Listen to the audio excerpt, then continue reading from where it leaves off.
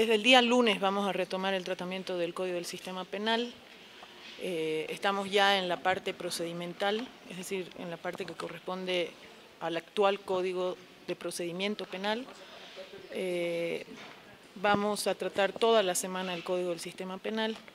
y esperamos poderla, poderlo concluir la siguiente semana. Bueno, hemos, nos hemos sentado con muchos sectores y con cada uno de ellos hemos ido acordando, la Confederación de Empresarios Privados, el sector de los medios de comunicación y la prensa, nos hemos sentado también con el Colegio, Nacional, el Colegio Médico Nacional, eh,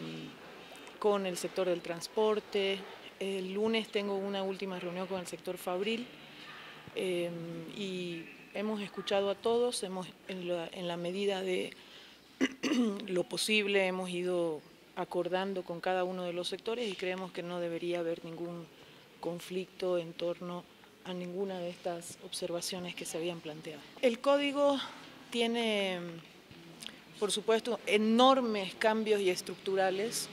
y por lo tanto, eh, luego de que el código sea promulgado, hay una propuesta en la cual eh, la propuesta establece que recién entraría en vigencia plena 12 meses después de su promulgación, es decir, un año después,